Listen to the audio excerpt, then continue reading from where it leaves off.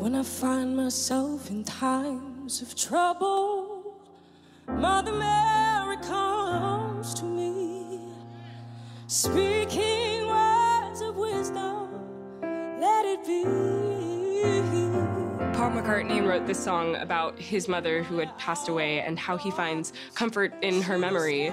And I feel that that sentiment is really applicable to my situation. I do find a lot of comfort in my mother's memory, and I want to sort of pay a little tribute to her with this song.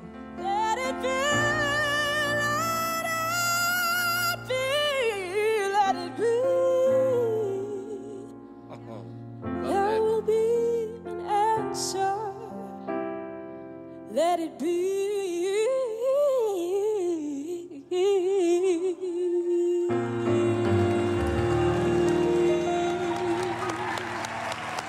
Yes, sir.